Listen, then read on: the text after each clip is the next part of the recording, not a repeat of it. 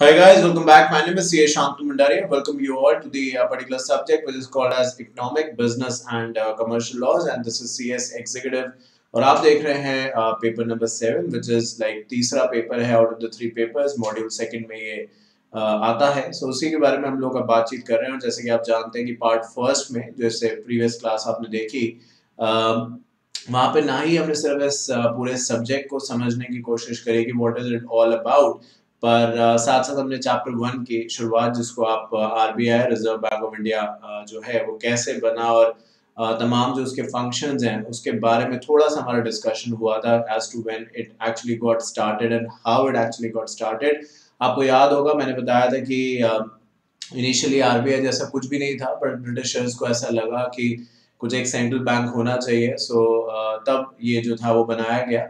और जैसे जब ये बना तो उस समय ये एक प्राइवेट सेक्टर बैंक या कह दीजिए एक प्राइवेट शेयर होल्डर बैंक के तौर पे बनाया गया था।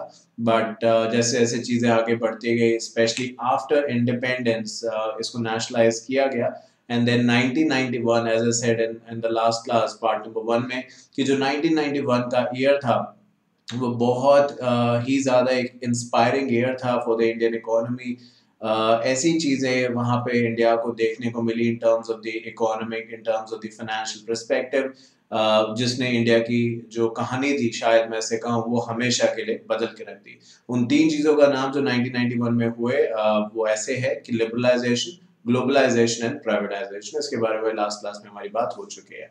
नाउ आज हम जो पार्ट सेकंड है, उसकी शुरुआत तो चैप्टर फ़र्स्ट ही रहेगा बट जो पार्ट सेकंड है, उसकी शुरुआत हम करने वाले टॉपिक से, जिसका नाम है origin of Reserve Bank of India at glance तो इसी के बारे में सपोज़ हम लास्ट क्लास में एक दो पॉइंट पढ़ ही रहे थे बट फिर आगे नहीं बढ़ पाए बट अब हम यहाँ से फिर से बात करनी स्टार्ट करेंगे। सो so, ये तो आप समझ ही चुके हैं कि 1926 में uh, एक रिकमेंडेशन आई कि भाई एक सेंट्रल बैंक होना चाहिए। ऑब्वियसली उस समय इंडिया इंडिपेंडेंट नहीं था। तो रॉयल कमीशन जो ब्रिटिशर्स के था उसने ये कहा कि कुछ ऐसा होना चाहिए। मतलब they were not as such concern कि भाई रिज़र्व बैंक ही बनाना है, उनको था कि बैंक चाहिए बिकॉज़ आज जैसे बैंक है एटीएम है मोबाइल है इंटरनेट है, ये चीज़ें ना सुनने में नहीं लगती हैं, और अगर कोई नहीं जानता हो इसके बारे में तो मुझे लगता है वो मज़ाक कर रहा है, क्योंकि इतनी कॉमन हो चुकी हैं चीज़ें। पर जिस समय की मैं बात कर रहा हूँ, जिस समय की बात यहाँ पे कही जा रही है, उस समय सब कुछ नया था। पता भी नहीं था 1926 में आई सपोज़ कि इंडिया इंडिपेंडेंट होगा भी और होगा तो कैसे और कब होगा, है ना? तो 1926 में ये सब चल रहा था। अब 1927 में इस चीज़ को लेके कि भाई इंडिया में एक सेंट्रल बैंक होना चाहिए इसको लेके उस समय के पार्लियामेंट या उस समय की जो लेजिस्लेटिव असेंबली थी, जो कि कानून वगैरह बनाती थी उस समय के इंडिया के लिए तो उसमें ये चीज़ पेश करी गई प्रेजेंट करी गई। पर वहाँ पे एडमिनिस्ट्रेटिव रीजंस की वजह से लोगों में जो भी लोग वहाँ पे बैठे थे जैसे आज एम पी होते हैं जो parliament Lok Sabha Rajya Sabha etcetera so so, उस समय जो लोग थे उस लेजिस्लेटिव असेंबली में उनके बीच में बात नहीं बन पाई। जैसे आज भी होता है ना बहुत बार आप देखते हैं सुनते हैं कि संसद में हंगामा हो गया विपक्ष ने ये कर दिया अपोजिशन ने ये कर दिया। तो उस समय भी कुछ ऐसा ही रहा होगा। सो फॉर दोज रीजंस जो आरबीआई था जिसको 1926 एंड देन 1927 तक बन जाना चाहिए था अनफॉर्चुनेटली वो तब नहीं बन सका क्योंकि अप्रूवल उस चीज़ का उस समय की लेजिस्लेटिव असेंबली में मिला ही नहीं था। बट फिर पाँच छः साल के बाद अराउंड 1933 में ये बात दोबारा से आ, सामने रखी गई कि इंडिया में एक ऐसा कुछ होना चाहिए बैंक होना चाहिए जो कि यू नो सारा पैसे का हिसाब किताब करे और सेंट्रल गवर्नमेंट की भी मदद करे उस समय की जो ब्रिटिशर्स की गवर्नमेंट थी, उसकी भी मदद करे पूरे करेंसी को रेगुलेट करने में, बाहर से पैसा आ रहा है, जा रहा है। क्योंकि ऐसे वो, जैसे कि मैंने आपको लास्ट क्लास में बताया था, आप इस परस्पेक्टिव से भी इसको सोच सकते हैं कि जैसे जैसे समय निकल रहा था जब 1926 से और 1933 तक पहुँच गए तो फॉर श्योर जो इंडिपेंडेंस को लेके आवाज़ थी, वो थोड़ा और स्ट्रांग होने ही लगी थी। तो ब्रिटिशर्स को भी ये था कि भाई जो पैसे उनके पास हैं वो कोई लूट ना ले कुछ ना हो। तो एक यू नो एक सिक्योरिटी के लिए भी ऐसा कुछ वो लोग चाह रहे थे। और जैसे कि मैंने आपसे लास्ट क्लास में भी बताया था कि ये कहना आज बड़ा मुश्किल है कि उस समय वो क्या सोच रहे होंगे। बट जितना भी मैंने पढ़ा है क्योंकि इसमें तो इतना कुछ दे नहीं रखा बट जितना मैंने पढ़ा है इस, इसके बारे में उसमें यही है कि भाई उनको यही था कि उनका पर्सनल मोटिव जो है वो कैसे सॉल्व हो। अगर इंडिया के बाहर पैसा भेजना है या उसका हिसाब किताब रखना है तो फिर कैसे रखा जाए? किसी एक आदमी के पास अगर आप हिसाब किताब रखेंगे तो चांसेस है वो गड़बड़ कर सकता है। तो इसीलिए भी वो लोग बैंक चाहते थे। मुझे लगता है वो इंडिया के बारे में कोई खास कंसर्न थे उस समय। तो 1933 में दोबारा से इसके बारे में बातचीत स्टार्ट हुई। एंड देन फॉर्चुनेटली 1934 में जो उस समय के गवर्नर थे उनका हस्ताक्षर हिंदी में कहते हैं जबकि इंग्लिश में सिग्नेचर एसेंट परमिशन मिल गया। जैसे कि आज कोई भी कानून अगर लागू करना होता है आज के समय में तो आप जानते हैं कि लोकसभा राज्यसभा में उसके बारे में बहस हो सकती है डिस्कशन हो सकता है। बट uh, फाइनल जो उस पर साइन होते हैं वो प्रेसिडेंट के होते हैं। और जिस दिन प्रेसिडेंट उसको साइन करता है द प्रेसिडेंट ऑफ़ इंडिया उसी दिन से वो कानून जो है वो uh, मैं ऐसे कहूँगा कि वो वो जो चीज़ है वो कानून बन जाती है। तो उस समय गवर्नर को इम्पोर्टेंस दी जाती थी। तो 1934 में जो आरबीआई था वो बन गया और इसीलिए आरबीआई जो एक्ट है वो आज भी 1934 के नाम से जाना जाता है। आरबीआई जो था 1935 से इसका ऑपरेशंस वगैरह स्टार्ट हुए और जैसे कि मैंने आपसे प्रीवियस क्लास में कहा था और अभी भी कहा, ये एक प्राइवेट शेयर होल्डर बैंक बना था जैसे कि आज आरबीआई के आपने नहीं सुना होगा कि आरबीआई के शेयर्स किसी के पास है, क्योंकि शेयर्स आरबीआई के हैं ही नहीं। आरबीआई स्टॉक मार्केट में लिस्टेड है ही नहीं, है ना? तो उस परस्पेक्टिव को ध्यान में रखते हुए यही बात यहाँ पे कही जा रही है कि जब ये बना था तो एक ऐसा बैंक था जहाँ पे लोगों ने पैसा लगाया हुआ था इस बैंक के अंदर और इसके शेयर्स खरीदे हुए थे बट ऑब्वियसली आज ऐसा नहीं है। uh, 1942 में जो आरबीआई है उसको uh, क्योंकि जब ऑब्वियसली जब 1942 की बात हम कर रहे हैं इसका मतलब कुछ ही दूर थे अब हम इंडिपेंडेंस से तो पहले आप जानते हैं ये बात uh, कि पाकिस्तान, नेपाल या जिसको आज म्यांमार कहा जाता है, पहले बर्मा कहा जाता था, ये सब एक ही थे। मतलब ये भारत था, ये हिंदुस्तान था, ये इंडिया था, जो आप इसमें से कहना चाहें। पर जैसे कि आप जानते हैं कि जब पार्टीशन हुआ तो उस समय क्या क्या चीज़ें हुई तो अलग अलग मुल्क बन गए अलग अलग कंट्रीज़ बन गई तो वो एक आरबीआई जो पहले बर्मा को भी रेगुलेट करता था रिज़र्व बैंक ऑफ़ इंडिया वो पाकिस्तान को भी रेगुलेट करता था। मतलब ऑब्वियसली क्योंकि सब पहले एक ही था अलग अलग डिमार्केशन नहीं था। बट जैसे जैसे ये अलग होते गए पार्टीशन हुआ तो इन दैट केस आरबीआई जो था, उसका जो एरिया था, वो अब सिंक होना शुरू हो गया। क्योंकि अब पाकिस्तान एक अलग कंट्री बन गई और बर्मा, म्यांमार एक अलग बन गया, नेपाल एक अलग चला गया। तो उस चीज़ को ध्यान में रखते हुए तमाम सारे चेंजेस आरबीआई में आए। जैसे कि यहाँ पे लिखा है आरबीआई ने स्टॉप कर दिया काम करना बर्मा के लिए, पाकिस्तान के लिए। और ये एक मोटी मोटी बात है जो आरबीआई के साथ ओवर द टाइम पीरियड हुई है। And then in the year 1949 RBI को एक तरीके से आप ऐसे कह दीजिए नेशनलाइज कर दिया गया। नेशनलाइजेशन का मतलब मैंने आपसे लास्ट क्लास में भी डिस्कस किया था कि देखिए नेशनलाइजेशन uh, का मतलब बेसिकली ये है कि जो गवर्नमेंट है या जो भी और कंपनी uh, है बैंक है कुछ भी अगर किसी भी चीज़ को आप कहते हैं कि वो नेशनलाइज हो रहा है तो इट मीन्स उसकी ओनरशिप जो है जो उसका कंट्रोल है that is being given to the government अब वो चीज़ गवर्नमेंट की हो रही है सरकारी हो रही है।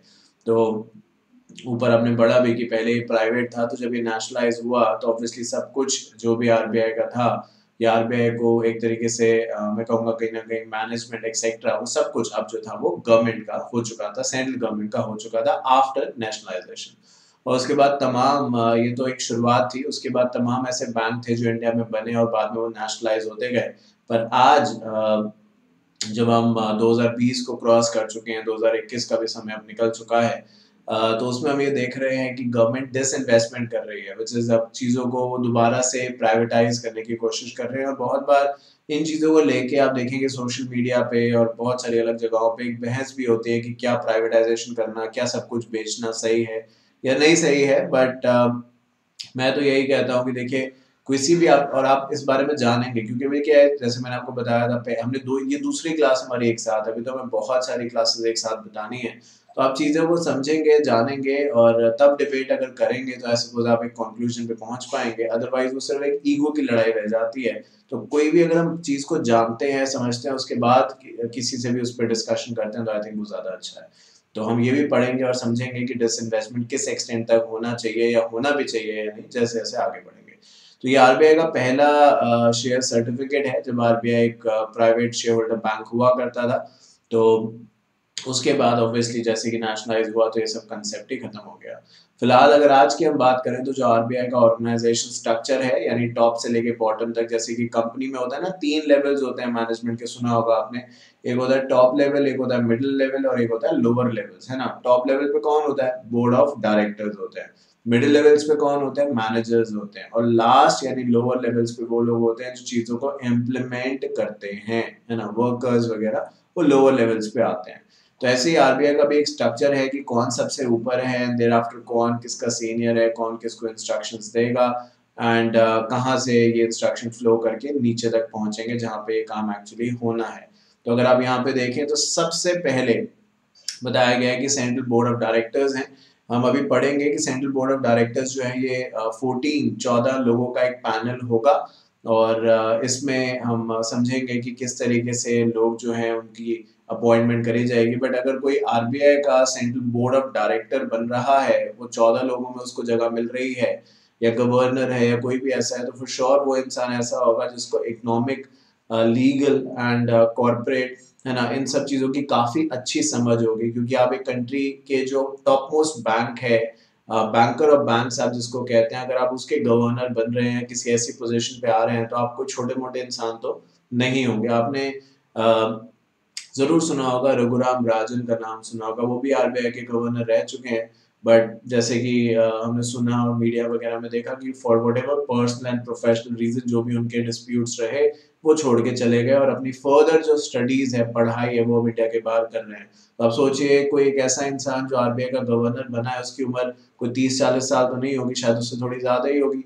तो वो यहाँ से छोड़ के फिर फिर से भी पढ़ने चलेगा तो ये होता है, जब पढ़ने में हमें इंटरेस्ट होता है कि कोई ऐसा इंसान जो गवर्नर बना है, ऐसे तो बन नहीं गया होगा जो आप पोजिशन देख रहे हैं, ये धीरे धीरे धीरे धीरे धीरे धीरे ऊपर आए होंगे। वो ऐसे तो नहीं कि डायरेक्टली उनको गवर्नर बना दिया, कहीं ना कहीं कोई ना कोई पोजिशन तो उन्होंने टॉप मोस्ट होल्ड करी होगी।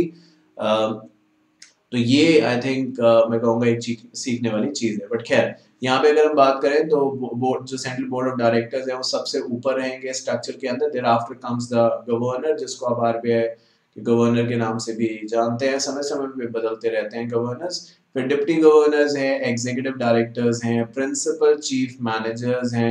ये सब आपको लर्न नहीं करना है। मतलब आप ये कहें कि, सर, आप मुझे लर्न करना है तो आपको लर्न नहीं करना है। अभी आप सिर्फ़ सुनते जाइए जो जो मैं कह रहा हूँ। And wherever you think जैसे कि मैंने आपसे लास्ट क्लास में रिक्वेस्ट करी थी wherever you think it is required तो आप लिख के थोड़े से उसके नोट्स बना लीजिए। वो आपको बहुत हेल्प करने वाले हैं। मैं समझाऊँगा अभी आपको बट बता रहा हूँ कि अभी सिर्फ़ आप सुनिए जो जो चीज़ें मैं कह रहा हूँ। एक बार अभी आप यूज़ हो जाएँगे ना, क्योंकि देखो मेरी आदत क्या है अभी जब आप ये क्लासेस देख रहे हो ना, भले मैं आपसे बार बार नहीं कहूँगा बट जब मैंने क्लासेस स्टार्ट करी है from the chapter one and this is the part second तो मैंने इसका क्वेश्चन पेपर देख लिया है कि पिछले दस साल का आठ साल का जो भी अवेलेबल अवेलेबल था वेबसाइट पे कि भाई कैस, किस तरीके के क्वेश्चन आ रहे हैं? क्योंकि समय समय पे क्या है कि सिलेबस चेंज होता है न्यू से ओल्ड होता है एक्सेट्रा एक्सेट्रा तो एक कॉमन पैटर्न है जिसको वो लोग फॉलो करते हैं, चाहे वो किसी भी सब्जेक्ट का हो।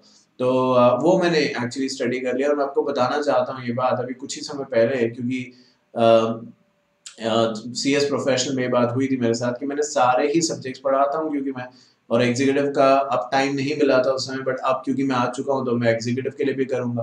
तो मैंने ना गेस या सजेस्टेड क्वेश्चंस बताए थे, एक दिन पहले बताए थे, देख के मेरे हिसाब से ये आ सकते हैं और आप अगर हमारे किसी भी तरीके से ग्रुप पे एसोसिएटेड होंगे तो आप भी ये मानेंगे कि उस समय आप सभी को दिए थे तो आपके पास भी वो मैसेज तो आया ही होगा व्हाट्सएप ग्रुप पे, भले आप प्रोफेशनल के स्टूडेंट थे या नहीं। तो उसमें से 55 से 60 परसेंट जो था, वो जनरली मेरे ही सजेस्टेड पेपर से आया था। इसकी कोई गारंटी तो नहीं है बट डेफिनेटली ऐसा हुआ। इसीलिए हुआ क्योंकि मैंने वो पैटर्न समझ लिया कि वो किस तरीके से पूछ रहे हैं। तो जो जो मैं आपको यहाँ पे बता रहा हूँ, आप देखते जाइए बिकॉज़ ये कहीं ना कहीं एग्जामिनेशन परस्पेक्टिव से हेल्प करने वाला है। ठीक है। तो ये आ, सारे लोग हैं जो चीफ जनरल मैनेजर है जनरल मैनेजर है deputy assistant manager and supporting staff तो ये सब लोग मिलके एज अ टीम जो है वो आरबीआई को आगे बढ़ाते हैं। कुछ यहाँ पे फ़ोटोज़ अपने सामने आप देख रहे हैं। ये लोग कभी ना कभी जो है वो आरबीआई के गवर्नर्स रह चुके हैं। In the middle you see the prime minister honourable prime minister of India the past prime minister of India mister या doctor I should say doctor Manmohan Singh तो वो भी चीफ इकोनॉमिस्ट रह चुके थे, उसके बाद आरबीआई के गवर्नर भी रहे, और फिर रघुराम राजन की मैं बात आपसे कर रहा था तो वो भी हैं यहाँ पे, उसके बाद उर्जित पटेल आए, और अभी हम नीचे पढ़ेंगे जो करंट गवर्नर्स है, उसके बारे में भी बातचीत करेंगे। तो ये सारे लोग अपनी अपनी जगह पे गवर्नर कभी ना कभी जो है ऑब्वियसली रह चुके हैं। बात करते हैं सेंट्रल बोर्ड ऑफ़ डायरेक्टर्स के बारे में, जो मैं ऊपर आपसे कह रहा था, अगर आप यहाँ पे चार्ट पे देखें तो सबसे पहले है सेंट्रल बोर्ड ऑफ़ डायरेक्टर्स तो सेंट्रल बोर्ड ऑफ़ डायरेक्टर्स के बारे में आइए, आप समझ लेते हैं कि क्या लिखा गया है। कहते हैं कि the central board has the primary authority and responsibility for oversight of the functions of the Reserve Bank the other 10 director represent different sectors of the economy. All appointment are made for the period of 4 years. तो सबसे पहले तो आप ये समझ लीजिए कि जो सेंट्रल बोर्ड ऑफ़ डायरेक्टर्स है, इसके अंदर चौदह फोर्टीन डायरेक्टर्स होते हैं। और जो फोर्टीन है, उसका डिमार्केशन ऐसे है कि दस और चार, ये ऐसा मानिए। जो दस लोग हैं, वो ऐसे एरिया से होंगे, जैसे कि मैंने ऊपर बताया भी था लीगल है फाइनेंस है अकाउंट्स है है ना? इन एरिया से एक्सपीरियंस होगा उनके पास, और ऐसे नहीं कि दो, चार, पाँच, दस साल का एक्सपीरियंस बीस बीस, पच्चीस पच्चीस साल का एक्सपीरियंस होगा। क्योंकि खुद ही सोचिए ना, आप एक कंट्री का सबसे बड़ा बैंक और बैंकर्स जो बैंक जिसको आप कहते हैं, वो आप रेगुलेट करने जा रहे हैं। तो ऐसे किसी भी इंसान को जिसको एक्सपीरियंस नहीं है, जिसने अभी चीज़ों को देखा नहीं है, जो जानता नहीं है, उसको थोड़े बना सकते हैं इतनी बड़ी पोजीशन पे। तो चौदह लोग जो होंगे वो सेंट्रल बोर्ड ऑफ़ डायरेक्टर्स के पार्ट होंगे, जिसमें कि ऑब्वियसली सारे के सारे ऐसे ही होंगे जिनको अलग अलग एरियाज़ के बारे में स्पेशलाइजेशन होगा अलग अलग एरियाज़ के बारे में नॉलेज होगी।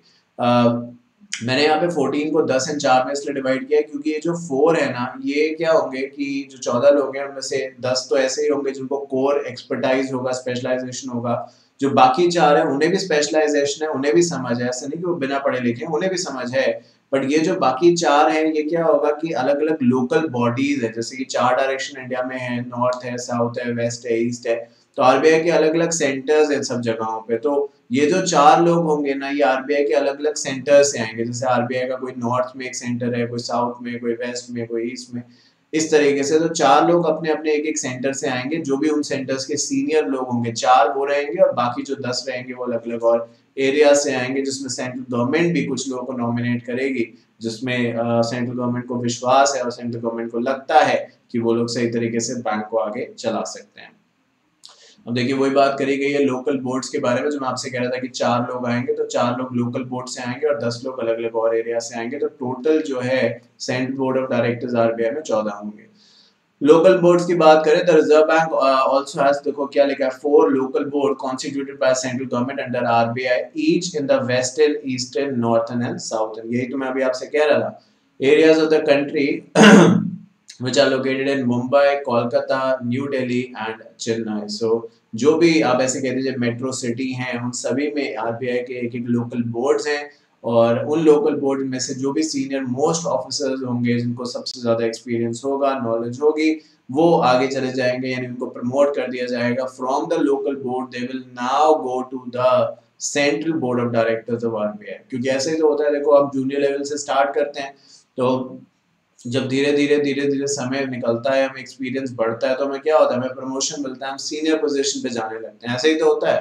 तो यही चीज़ यहाँ पे भी है कि जो उन लोकल बॉडीज के हेड होंगे, जो आरबीआई की जो चार डायरेक्शंस में which is north south west east इन चार जगहों पे जो आरबीआई के बड़े बड़े सेंटर्स हैं, वहाँ पे जो इन बड़े सेंटर्स के सीनियर्स होंगे, वो समय समय पे आरबीआई के जो सेंट्रल बोर्ड ऑफ़ डायरेक्टर है, उसके मेंबर जो है वो बनते रहेंगे। समझ रहे हो मेरी बात? जो भी एक बार अपॉइंट होगा सेंट्रल बोर्ड ऑफ़ डायरेक्टर्स पे आरबीआई के, वो चार साल तक, जैसे कि यहाँ पे लिखा है, चार साल तक वो अपना टेन्योर पूरा करेगा। यानी वो चार साल तक ही सेंट्रल बोर्ड ऑफ़ डायरेक्टर्स में रह सकते हैं, उसके बाद उन्हें हटना ही पड़ेगा। ऑफिसेज एंड ब्रांचेस के बारे में बात करें तो लिखा है the Reserve Bank has a network of office and branches through which it discharges responsibility The unit operating in four metros, which is uh, Mumbai, Kolkata, Delhi, and Chennai, are uh, known as offices, while the units located at other cities and towns are called as branches. So currently, the Reserve Bank has its office, including the branches at 27 locations. अभी पढ़ रहा हूँ The offices and the larger branches are headed by the senior officer of the rank of chief general manager and other senior officials. तो देखिए, ये बात तो आप समझ चुके हैं क्योंकि जो अब हम बात कर रहे हैं, ये हम बात कर रहे हैं कि आरबीआई का आज का स्ट्रक्चर क्या है ये हम बात तब की नहीं कर रहे जब पहले आरबीआई बना तो क्या था, कैसे था, आज क्या है क्योंकि पहले तो ये सब थे भी नहीं, दिल्ली, मुंबई, कोलकाता, चेन्नई ये तो बाद में सब स्टेट्स बनी है और यू नो डेवलपमेंट हुआ है। तो जो आज का स्ट्रक्चर है वो जिस तरीके से है कि चौदह लोग जो है आरबीआई के सेंट्रल बोर्ड ऑफ़ डायरेक्टर्स का पार्ट होंगे। उनमें से दस जो हैं वो सेंट्रल गवर्नमेंट या अलग अलग लोग मिलकर नॉमिनेट करेंगे। जो चार होंगे वो आरबीआई के जो अलग अलग सेंटर्स हैं, चारों डायरेक्शन में इंडिया के, वहाँ से आएँगे। फिर बात हमने करी ऑफ़िस एंड ब्रांच को लेके। तो यहाँ पे जो दो वर्ड है ऑफ़िस एंड ब्रांच मैं कहूँगा कहीं ना कहीं इनको एक अलग रिलेवेंस दी गई है। ये कहने का मतलब इस बात से है कि जब भी आप बात करते हैं ऑफ़िस की तो बताया गया है कि जो आरबीआई के ऑफ़िस हैं, वो अलग अलग जगहों पे हैं और ब्रांचेस भी काफ़ी सारी जगहों पे 27 बताया जा रहा है जगहों पे आरबीआई की ब्रांचेस हैं और जो भी लोग होंगे इन ऑफ़िस में या ब्रांचेस में ऑब्वियसली वो आरबीआई के सीनियर ऑफिशियल्स होंगे जो इन ब्रांचेस को चला रहे होंगे। मतलब तो देखो, एक चीज़ होती है, एक, अब सुना होगा आपने हेड ऑफ़िस होता है। बट अगर कोई हेड ऑफ़िस है किसी कंपनी का तो ऐसा थोड़ा है कि सिर्फ़ हेड ऑफ़िस है ब्रांचेस तो ऑल ओवर इंडिया होती है ना, जैसे कि कंपनीज़ एक्ट आपने मॉड्यूल वन में पढ़ा होगा तो वहाँ पे आप कहते थे रजिस्टर्ड ऑफ़िस है कंपनी का। सुना होगा आपने बहुत बार ये वर्ड रजिस्टर्ड ऑफ़िस तो अगर रजिस्टर्ड ऑफ़िस तो एक ही हो सकता है ना, चार जगह तो रजिस्टर्ड ऑफ़िस हो नहीं सकता। Registered office the main office address for the company but बाकी जगह कंपनी अपने ब्रांचेस तो खोल ही सकती है ना तो ऐसे ही आरबीआई का आरबीआई का हेडक्वार्टर एक जगह है बट थ्रू आउट इंडिया उसकी अलग अलग ब्रांचेस हैं जिसके ज़रिए वो लोग काम करते हैं। गवर्नर एंड डिप्टी गवर्नर के बारे में बात करें so here is the current governor of RBI जब आप देख रहे होंगे क्लासेस में भी ये चेंज हो जाए क्योंकि ये समय समय पे चेंज होते रहते हैं। So in in the picture you can see the governor आपको शायद ये बोर्ड भी दिख रहा होगा यहाँ पे uh, कुछ अगर थोड़ा सा दिख रहा हो लिखा है गवर्नर करके अगर आप देख पा रहे हो। तो इस तरीके से और यहाँ पे भी लिखा हुआ है उप गवर्नर यानी deputy governor. So governor and जो डिप्टी गवर्नर है मिलके ये आरबीआई ऑब्वियसली चलाते हैं। ये कोई एक वन पर्सन रोल कभी भी हो नहीं सकता। तो उसी के बारे में बात करेंगे। The governor is the reserve bank chief executive the governor supervise and direct the affairs of the business of RBI the management team also include deputy governor executive directors the governor deputy governors devote their whole time to the affairs of the bank and receive salaries and allowances as determined by the central board with the approval of central government देखिए एक चीज़ अच्छी तरीके से आपको समझ लेनी है कि सबसे ऊपर अगर आरबीआई में कोई है तो वो है सेंट्रल बोर्ड ऑफ़ डायरेक्टर्स अगर आप चाहें तो ये चार्ट दोबारा भी देख सकते हैं कोई स्क्रॉल करने में दिक्कत नहीं है आप ये देख सकते हैं तो यहाँ पे लिखा है सेंट्रल बोर्ड ऑफ़ डायरेक्टर्स अगर आप देख पा रहे हो तो this is the central board of directors है ना? सबसे ऊपर ये है, उसके बाद आते हैं गवर्नर तो सेंट्रल बोर्ड ऑफ़ डायरेक्टर्स जो है, वो तो खैर बहुत सारे लोग मिलके क्योंकि डायरेक्टर्स का जब आप वर्ड यूज़ करते हैं तो आप किसी एक बंदे को डायरेक्टर्स नहीं कह सकते। डायरेक्टर तभी आप वर्ड यूज़ करते हैं जब एक से ज़्यादा लोग होते हैं। तो ये सबसे ऊपर है, और उसके बाद सेंट्रल बोर्ड ऑफ़ डायरेक्टर्स के बाद अगर मैं ऐसे कहूँ कि किसी के हाथ में सबसे ज़्यादा पावर है तो वो गवर्नर है and then obviously deputy governor है। तो जो गवर्नर है डिप्टी गवर्नर है, आप ऐसे मान के चलिए, जो पूरा आरबीआई का फंक्शनैलिटी है, वो इन्हीं के कंधों पे है, इन्हीं की ज़िम्मेदारी है कि उसको सही तरीके से ये आगे बढ़ाएँ। और ये पूरा का पूरा समय जो है governor and the deputy governor ये आरबीआई के फंक्शनैलिटी में ही गुजारते हैं विच इज़ कि आरबीआई जो है सही तरीके से काम कर रहा है, नहीं कर रहा है। एंड नॉट जस्ट आरबीआई, मैं ऐसा भी कहूँगा आरबीआई के अंदर तमाम बैंक्स आते हैं, क्योंकि RBI called as banker of banks तो जो आरबीआई के कंट्रोल में सारे बैंक्स आते हैं, वो सही काम कर रहे हैं, नहीं कर रहे हैं एक्सेट्रा ये सब चीज़ें जो है वो गवर्नर के प्रिव्यू में आती हैं, या फिर ऑब्वियसली डिप्टी गवर्नर के प्रिव्यू में आते हैं। तो वही बात जो है वो यहाँ पे कही गई है। अब बात करते हैं functions of reserve bank of India कि रिज़र्व बैंक ऑफ़ इंडिया के आखिरकार फ़ंक्शंस हैं क्या? तो देखिए फ़ंक्शंस तो बहुत सारे हैं। एक एक करके हम बातचीत आज यहाँ पे करनी स्टार्ट करेंगे। पर ये एक चार्ट के ज़रिए भी आपको दिखाने की कोशिश करेंगे कि ऑब्वियसली आप जानते हैं जो नोट प्रिंटिंग का काम है, वो आरबीआई करता है और RBI bankers to the government है। सेंट्रल गवर्नमेंट को पैसे की ज़रूरत रहती है। तो आरबीआई मदद करता है पैसों की। फॉरेन एक्सचेंज की अगर आप कभी भी इंडिया के बाहर ट्रैवल कर रहे हो या इंडिया के बाहर से इंडिया आए हैं तो आई एम श्योर ये बात आप जानते हैं कि जैसे आप इंडिया से यूएस ट्रैवल कर रहे हैं यूनाइटेड स्टेट्स ट्रैवल कर रहे हैं, कोई भी और कंट्री ट्रैवल कर रहे हैं तो ये बात तो आप जानते हैं कि हर जगह आईएनआर नहीं चलता इंडियन रुपी नहीं चलता, है ना? तो कहीं डॉलर चलता है तो कुछ कहीं और चलता है यूरो चलता है, कुछ भी है। तो अब क्या है कि अगर आप चाहते हो कि भाई आप यहीं से, क्योंकि वहाँ रुपीज़ चलने नहीं वाला तो आप यहीं से कन्वर्ट करा सकते हो। मतलब रुपीज़ को आप लोग कन्वर्ट करा सकते हो। जैसे कि मैंने पता नहीं बताया कि नहीं अभी खैर दूसरी क्लास है कि you know that I've worked as a senior manager company secretary so I've been to uh, Australia. Sydney का नाम सुना होगा आपने मेलबर्न का नाम सुना होगा पता नहीं ब्रिस्बेन का भी शायद सुना हो सकता है। तो तमाम जगहों पे अपनी कंपनी की तरफ़ से जा चुका हूँ और सारा ही खर्चा ऑब्वियसली कंपनी ने पेयर किया था। तो उस दौरान क्या होता है, जब इंडिया के बाहर आप जाते हैं तो आपको वहाँ की करेंसी जो होती है, वो ले ही लेनी चाहिए, क्योंकि वहाँ पे कैसे खर्च करोगे पैसे? रुपीज़ तो वहाँ पे कोई एक्सेप्ट करेगा नहीं इंडिया की करेंसी तो आप एयरपोर्ट पे वो चेंज करा सकते हो या तमाम और जगह भी एयरपोर्ट के बाहर होती है, वहाँ पे भी आप अपने पैसे डॉलर्स में कन्वर्ट करा सकते हो. पर ये हर काम जो है, वो हर कोई नहीं कर सकता. आरबीआई इसके लिए किसी को ऑथराइज करता है लाइसेंस देता है कि भाई अगर किसी को करेंसी चेंज करानी है, क्योंकि आए दिन, हर दिन, हज़ारों लोग शायद इंडिया के जो है वो इंडिया के बाहर जा रहे हैं और उतने ही लोग इंडिया के बाहर से इंडिया में भी आ रहे हैं घूमने और वट जो भी पर्पज है उनका।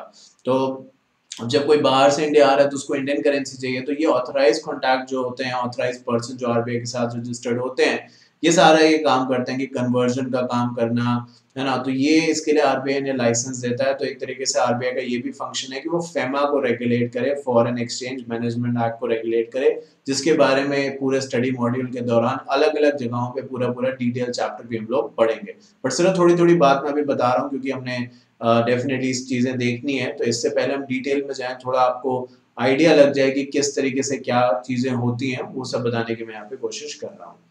ठीक है? आइए अब देखना स्टार्ट करते हैं। कहते हैं कि the RBI has been constituted ये तो आप जानते हैं 1934 में आरबीआई बना है। कहानी आपने सुनी ली ऊपर। The legal backing for the functions of RBI is not only confined to the provision of the RBI Act, but also spread over the number of statutes. Statutes मतलब लॉज रूल्स रेगुलेशन कानून। अब आप ये लिख सकते हैं, क्योंकि अभी क्या है कि क्लास चल रही है, देख रहे हैं तो सब कुछ समझ में आ रहा है, क्योंकि सामने बैठा हूँ, मैं बताता जा रहा हूँ। पर जब अभी आप क्लास बंद करेंगे और मे बी बाद में एक दो महीने बाद आप रिविजन करेंगे, जब पूरा कोर्स हो जाएगा तो उस समय शायद याद ना रहे। तो बेटर है कि हम लिखते रहें, क्योंकि लिखने से क्या है, हम खुद भी अपने आप को एक्टिव महसूस करेंगे और आई थिंक जो चीज़ें हैं वो भी ईजी हो जाएँगी हमारे लिए।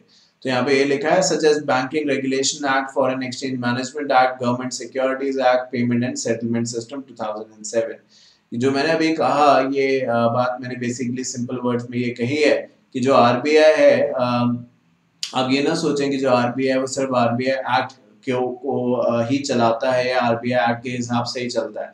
तमाम ऐसी और चीज़ें हैं जो कि कहीं ना कहीं आरबीआई ध्यान रखता है। जब भी आरबीआई कोई नया कानून बनाता है या कुछ भी चेंजेस करता है बैंकिंग सिस्टम के अंदर तो बैंकिंग रेगुलेशन एक्ट एक एक्ट है, उसका ध्यान रखना पड़ता है। फॉरेन एक्सचेंज जो मैंने आपको बताया कि भाई कैसे इंडिया के बाहर से पैसा आएगा, जाएगा, कौन कन्वर्ट करेगा, कैसे क्या, क्योंकि ऐसा नहीं कि आपने कन्वर्ट कर दिया, बस इसकी पूरी इन्फॉर्मेशन आरबीआई को जाती है कि आपने कौन सी कंट्री का किस बंदे से, क्योंकि जिसका भी आप ये कन्वर्ट अगर मैं अपना कन्वर्जन कराऊँगा ना तो मुझे पासपोर्ट दिखाना पड़ेगा अपना तो वो मेरी पूरी डिटेल्स नोट डाउन करेंगे कि भाई मैंने इतने पैसे इस एयरपोर्ट पे कन्वर्ट कराए और इसके बदले मुझे इतने मिले। यानी मैंने अगर मान लो दस हज़ार रुपए थे, मेरे पास तो मैंने डॉलर्स में कन्वर्ट कराए यूएस डॉलर में तो मुझे इतने डॉलर दिए गए साइन वगैरह कराएँगे वो मुझसे इस, इन सब चीज़ों के बारे में। तो ये सारी रिपोर्ट आरबीआई को फ़ाइल होती है, क्योंकि वो जानना चाहता है कि कौन कितना कन्वर्ट करा रहा है और इनकम टैक्स का भी इससे रिलेशन रहता है। तो इसी को लेके कहा गया है कि आप इसको ये ना समझे कि आरबीआई सिर्फ़ आरबीआई एक्ट को चला रहा है या उसके हिसाब से चल रहा है, तमाम और एक्ट्स हैं जिसको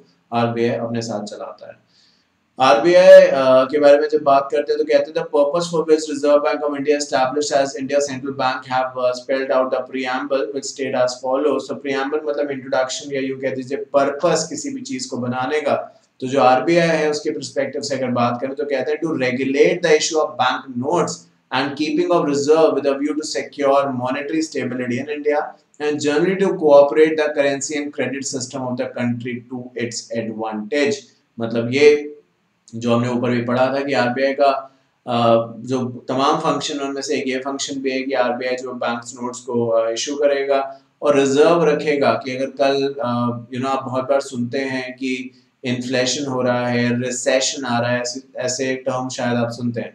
यानी कुछ भी ऐसा जहाँ पे लगे कि इकोनॉमी जो है, वो पैसों की वजह से, जैसे कोविड हुआ तो आपने देखा आरबीआई ने बहुत सारे नॉर्म्स किए या तो आरबीआई का ये काम है, जैसे कि मैं आपसे कह रहा था, सबसे मेजर तो देखो यही है कि वो बैंक्स नोट इशू करे। एंड आपको पता है कि जब हम इसके बारे में बात कर ही रहे हैं तो आपने बहुत बार शायद सुना होगा कि repo rate reverse repo rate specially if you are a commerce background student तो आपने हम श्योर इसके बारे में कहीं ना कहीं ज़रूर बात सुनी होगी। इसका बहुत ज़्यादा फ़र्क पड़ता है। तो इन, इसको हम मॉनेटरी पॉलिसीज़ कहते हैं तो आरबीआई ये मॉनेटरी पॉलिसीज़ भी समय समय पे बनाता है और ऑब्वियसली चेंज करने का राइट भी रखता है। तो वही दो परस्पेक्टिव है जो यहाँ पे बताए गए हैं। कि बैंक्स नोट को इशू करना है देर आफ्टर उनको मेंटेन करना एंड देन मॉनेटरी पॉलिसीज़ को लेके as a said repo rate reverse repo rate etcetera उन सभी के ऊपर भी जो है वो आरबीआई अलग अलग पॉलिसीज़ लेके आता रहता है। तो ये आरबीआई के कुछ मेन फ़ंक्शंस हैं, बाकी तो चीज़ें इसी से निकल के आगे बढ़ती हैं। But yes these are some of the basic functions या आप ऐसे कह सकते हैं कि main purpose for which RBI has been set up इसके बारे में फर्दर uh, बात करते हुए आप जब हम फ़ंक्शंस को शुरू कर रहे हैं तो एक एक चीज़ को ये आरबीआई के फ़ंक्शंस अपनी स्क्रीन पे आप इस समय देख रहे हैं तो एक एक चीज़ को अब डिटेल तौर पे बताया गया है।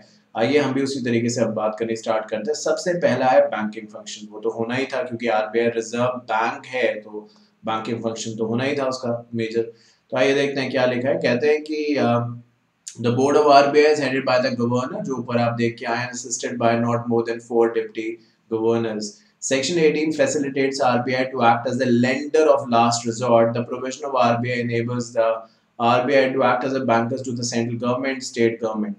Under section 20 and uh, 21 अभी पढ़ के मैं समझाऊंगा the RBI shall have an obligation and right respectively to accept money for account of central government and to make payment up to the amount standing to the credit of its account and to carry out exchange, remittance and other banking operations. अब आपको पता है अगर ऐसे paragraph पढ़ा ना तो ऐसा लगेगा बहुत डिफ़िकल्ट है यार ये वर्ड्स पता नहीं क्या क्या लिखे हैं और डिफ़िकल्ट लैंग्वेज है बट बहुत ईजी है। मेरी बात सुनोगे ना तो आपको लगेगा अरे यार ये बहुत ईजी है। ये सब इंटरप्रिटेशन का मैटर है। और इसी तरीके से जो ये बात मैंने बोली, इससे मैं ये भी आपको कहना चाहता हूँ कि आप चाहें तो इसको साथ में लिख सकते हैं। जो मैं बात अभी कहने वाला हूँ ना, जहाँ आपको लगे कि हाँ यार, ये जैसे ऊपर पहली लाइन क्या लिखी है कि भाई गवर्नर्स आरबीआई को चलाता है और उसके मैक्सिमम जो लोग उसका साथ दे सकते हैं डिप्टी गवर्नर्स के तौर पर वो मैक्सिमम चार हो सकते हैं। तो आप लिख सकते हैं कि जैसे आरबीआई है वन गवर्नर चाहे तो पूरा लिखेंगे आपकी मर्ज़ी है। एंड मैक्स मैक्स छोटा करें, क्योंकि ज़्यादा ज़्यादा लिखेंगे कोई फ़ायदा नहीं। मैक्स फोर डिप्टी गवर्नर अब क्या है कि अब ये आप पूरा कैपिटल लिखते हैं या नहीं, ये आपकी मर्ज़ी है। बट इस तरीके से अगर आप कुछ लिखेंगे ना तो आपके अपने समरी नोट्स ये भी नोट्स हैं, ये कोई कम नहीं है नोट्स बट आपके अपने ही समरी नोट्स बनते रहेंगे तो वही चीज़ जो शायद आप एक दस मिनट में करेंगे, अगर अपने आप की नोट्स बनाएँगे तो वही चीज़ शायद आप दो मिनट में करेंगे। सोचिए कितना समय बचेगा और कितना कॉन्फिडेंस जो है वो आपका बढ़ेगा इस सब्जेक्ट को लेके, है ना?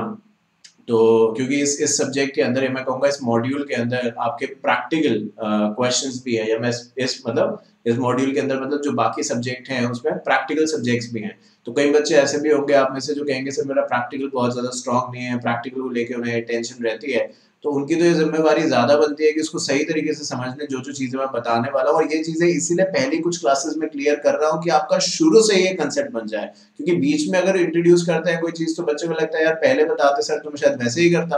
तो इसीलिए शुरू से आपको बता रहा हूँ बीच बीच में याद भी दिलाऊँगा और ये गारंटी भी करता हूँ कि जब आप पूरी बुक कंप्लीट कर लेंगे, मेरे साथ पूरा सिलेबस कंप्लीट करेंगे तो आप रियलाइज़ करेंगे कि यार, सर ने कुछ छुड़वाया नहीं और ना ही आपने कुछ छोड़ा है। क्योंकि समझाऊँगा मैं ऐसे तो समझ तो आना ही आना है।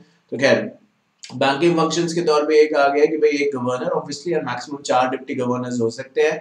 आरबीआई को लेंडर ऑफ़ लास्ट रिजॉर्ट भी कहा जाता है। मतलब अगर कहीं से पैसा ना मिले तो आरबीआई से पैसा, क्योंकि नाम ही है ना रिज़र्व रिज़र्व बैंक रिज़र्व क्या होता है? पहले क्या होता था? आपको पता नहीं होगा, क्योंकि अभी तो क्या स्कूटी और ये सब चीज़ें चलती हैं बट स्कूटर होते थे ना जब तो उसमें क्या होता था? रिज़र्व रहता था। मतलब पेट्रोल नॉर्मल जैसे टंकी में डाला वो तो है ही।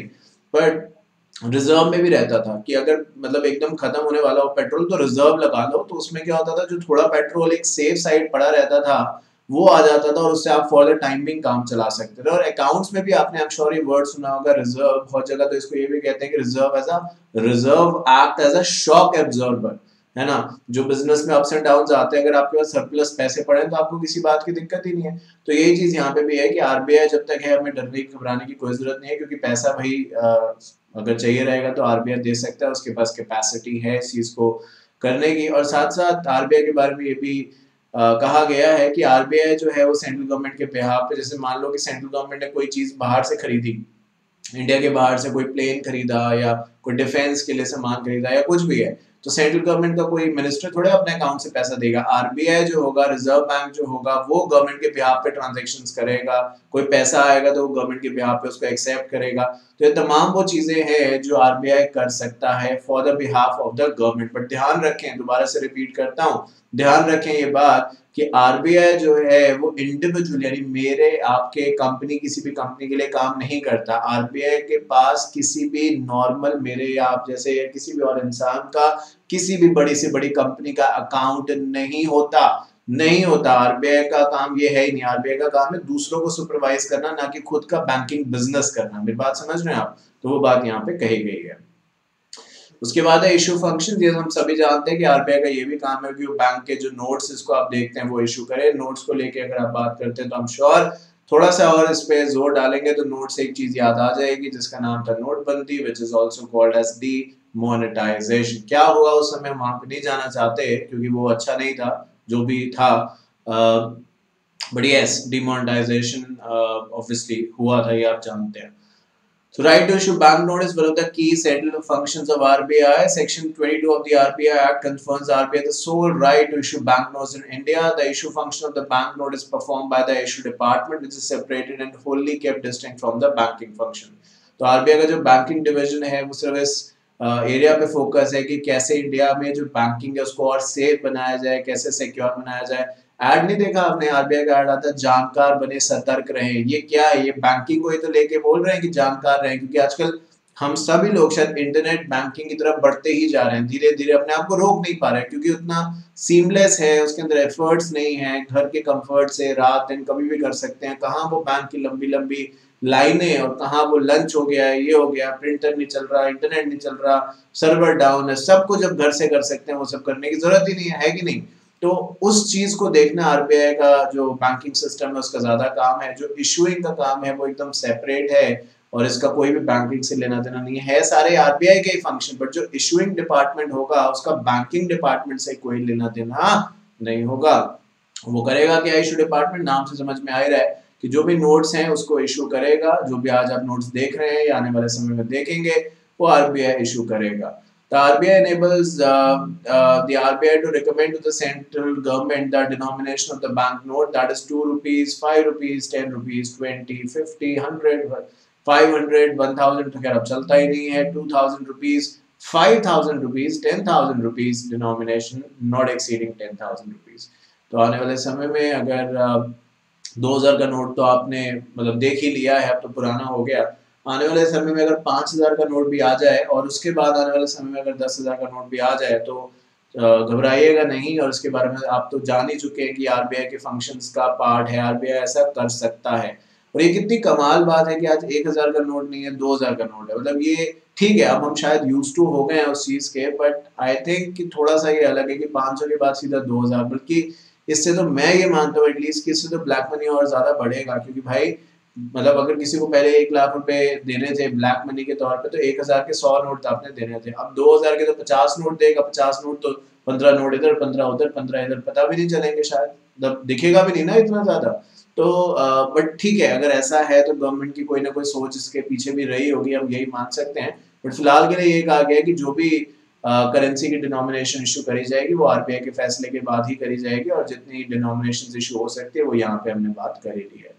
बात करते हैं मॉनेटरी फ़ंक्शंस को लेके तो जैसे कि मैं आपसे ऊपर अभी कह रहा था कि आरबीआई के पास ये पावर है कि वो अलग अलग समय में पॉलिसीज़ लाएगा और वो डिटरमाइन करेगा कि बैंक जो है वो कितने ब्याज दर पे इंटरेस्ट की दर पे लोगों को लोन देंगे। क्योंकि अगर आरबीआई क्या करेगा कि जो आरबीआई है वो बैंकों को कर्जा देता है। ऐसे मान के चलो एक एग्ज़ाम्पल समझाता हूँ। आरबीआई बैंकों को कर्जा देता है, ठीक है? अगर आरबीआई कहेगा कि मैं आपको फाइव परसेंट पे दूँगा तो बैंक आगे कितने में दे सकते हैं? सिक्स सेवन एट पे दो तीन परसेंट अपना प्रॉफिट रख के लोगों को दे सकते हैं। बट अगर आरबीआई कहता है कि नहीं, पाँच नहीं, मैं आपको सेवन परसेंट पे दूँगा, आरबीआई जो है वो बैंक को लोन देगा सेवन परसेंट पे। फॉर एग्ज़ाम्पल उधार देगा आरबीआई बैंक को सात परसेंट पे। तो बैंक जो होंगे वो आगे लोगों को कितने में देंगे? आठ, नौ, दस परसेंट पे देंगे। तो यानी आरबीआई जो पॉलिसी डिसाइड करता है, उसका इफ़ेक्ट हम पे भी आता है डायरेक्टली और इनडायरेक्टली सब पे आता है। ये बात समझ रहे हो? जब आरबीआई देखते ऐसे कोविड के बारे में अभी आपने देखा, मैं ऊपर बात भी कर रहा था। अभी जब कोविड हुआ तो तमाम तरीके के इकोनॉमिक लॉस हुए, अब उसके बारे में कोई भी ऐसी चीज़ जो बीत चुकी है, उसके बारे में क्या बात करनी बट हम सभी से छुपा भी नहीं है, वो क्या हुआ, क्या नहीं हुआ, हम सभी जानते हैं। तो आरबीआई ने ब्याज दरें जो थी, वो आपने देखा मॉनिटेरियम लगा दिया था कि जो भी ईएमआई e वगैरह है, वो देने की ज़रूरत नहीं है, क्योंकि लोगों का काम ही नहीं था, कुछ भी शॉप्स वगैरह बंद थी इंडिया ही बंद था तो शॉप्स क्या और बिज़नेस क्या और बाकी चीज़ें क्या? है कि नहीं? तो आरबीआई ने ये सब चीज़ें तय करता है। तो आरबीआई अगर इंटरेस्ट रेट बैंक से ज़्यादा चार्ज करेगा तो बैंक हमसे ज़्यादा चार्ज करेगी। और अगर आरबीआई को लगता है कि भाई, अभी इकोनॉमी वीक चल रही है, लोग इतना पैसा नहीं तो आरबीआई क्या कर सकता है? बैंकिंग रेट कम कर सकता है। यानी आरबीआई कह सकता है कि हम बैंक को क्रेडिट देंगे तीन परसेंट पे तो बैंक आगे कितने पे क्रेडिट देंगे? चार या पाँच परसेंट पे तो हमें सस्ता पड़ेगा ना लोन वही। जो इंटरेस्ट मैं दूँगा बैंक को, वो कितना दूँगा? पाँच परसेंट। क्यों? क्योंकि बैंक को जो पैसा आरबीआई से मिला, वो तीन परसेंट पे मिला तो बैंक ने मुझे पाँच पे दिया। अगर आरबीआई बैंक को देगा पाँच परसेंट पे तो बैंक तो मुझे छह सात पे देगा। तो मेरे लिए तो महँगा हो गया ना। तो आरबीआई ये सोचता है। आरबीआई सोचता है कि भाई इकोनॉमी का क्या चल रहा है? हमें रेट्स जो है वो कम करने चाहिए, ज़्यादा करने चाहिए। ये सब चीज़ों का मॉनेटरी पॉलिसी के अंदर जोड़ते हैं।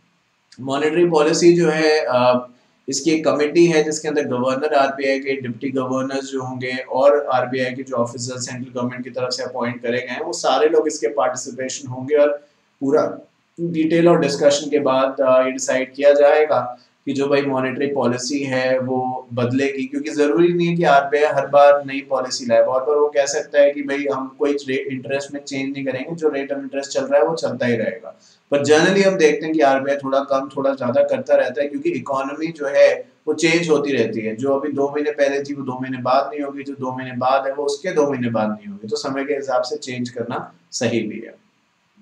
तो कहते the monetary policy committee has been interested with the statutory duty to determine the policy rate required to achieve the inflation target. The decision of the Monetary Policy Committee is binding on RBI, and RBI is required uh, to publish a document explaining the steps to be taken to implement the decision of the monetary policy. तो RBI की ज़िम्मेदारी है uh, कि समय समय पे जैसे कि मैंने अभी आपसे कहा इन्फ्लेशन को ध्यान में रखते हुए महँगाई को ध्यान में रखते हुए चीज़ों को रेगुलेट करें। अगर आरबीआई को लगता है कि महँगाई बहुत ज़्यादा बढ़ रही है अब देखो क्या है कि अगर आरबीआई चाहता है कि लोग खर्च करें पैसा खर्च करें तो क्या करेगा? सस्ता ब्याज देगा सस्ता आ, मैं कहूँगा क्रेडिट देगा सस्ता उधार देगा। अब जब आरबीआई बैंकों को सस्ता उधार देगा तो बैंक मुझे और आपको सस्ता उधार देंगे। जब हमें सस्ता उधार मिलेगा तो हम ज़्यादा खर्च करेंगे। कोई चीज़ अगर सौ रुपए की है और वही चीज़ पचास रुपए की है तो जब सौ की होगी तो उसकी जो कहीं ना कहीं डिमांड होगी, वो थोड़ी कम हो जाएगी। थोड़ी तो कम होगी, हो सकता है कुछ लोगों को फ़र्क नहीं पड़ेगा, वो सौ की है, कितने की वो तो फिर भी उतना ही खरीदेंगे। तो कुछ ऐसे हो सकते हैं जिनका बजट अलाउ नहीं करता। जब पचास की हो जाएगी तो ज़्यादा डिमांड बढ़ जाएगी। समझ रहे हो मेरी बात? तो वैसे ही जो है, वो यहाँ पे आरबीआई सिचुएशन और समय के हिसाब से चीज़ों को चेंज करता रहता है।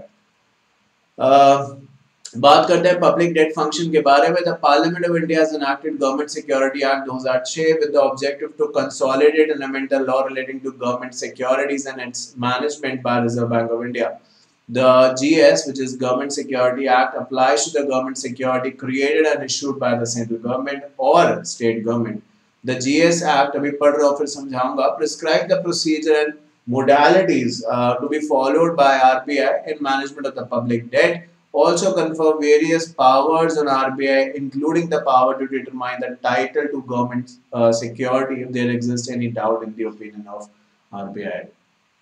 तो बात हम यहाँ पे कर रहे हैं पब्लिक डेट फ़ंक्शंस के बारे में जितना भी अभी तक आप पढ़ के आए हैं सारे के सारे आरबीआई के फ़ंक्शंस ही हैं और उनमें से एक फ़ंक्शन अभी हमने और पढ़ लिया जिसका नाम है पब्लिक डेट फ़ंक्शन आपने सुना है कि आरबीआई बॉन्ड्स इशू करता है ट्रेजरी बिल्स इशू करता है। सुना होगा आपने अलग अलग तरीके की सिक्योरिटीज इशू करता है।